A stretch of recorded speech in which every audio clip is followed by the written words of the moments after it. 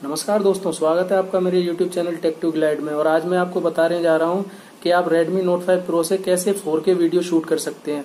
और देखते रहिए इस वीडियो को अंत तक ताकि आप पूरी तरीके से 4K वीडियो शूट कर सकें Redmi Note 5 Pro से। और अगर आपको ये वीडियो अच्छी लगे तो इसे लाइक करें शेयर करें और सब्सक्राइब करें मेरे YouTube channel tech to glide को। और प्रेस करें बेल आइकन को ताकि मिल सके आपको मेरी लेटेस्ट वीडियो सबसे पहले। तो चलिए दोस्तों, शुरू करते हैं इस वीडियो को।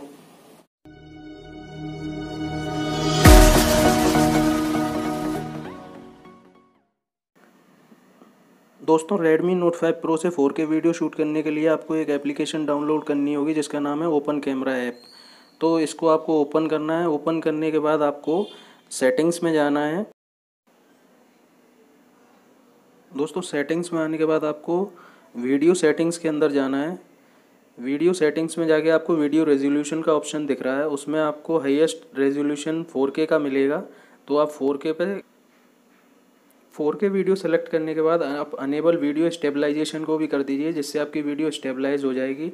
आप वीडियो के फ्रेम रेट्स भी डिसाइड कर सकते हो, जैसे कि 60 फ्रेम रेट्स और जो भी आपको चाहिए। और आप वीडियो की जो लेंथ है, उसको भी डिसाइड कर सकते हो कि आपकी फ़ाइल साइज़ किस साइज़ में हो। तो ये आप देख सकते हो, ये सारे ऑप्शन आपको कैमरा ऑप्शन इसी ऑप्शन में मिल जाएँगे। दोस्तों, ये है एक 4K वीडियो सैंपल जो ओपन कैमरा ऐप से शूट किया गया है रेडमी नोट फाइव प्रो में। तो धन्यवाद दोस्तों मेरी इस वीडियो को देखने के लिए। मिलता हूँ आपसे अगली ऐसी एक लेटेस्ट वीडियो के साथ। तब तक के लिए जय जवान, जय किसान।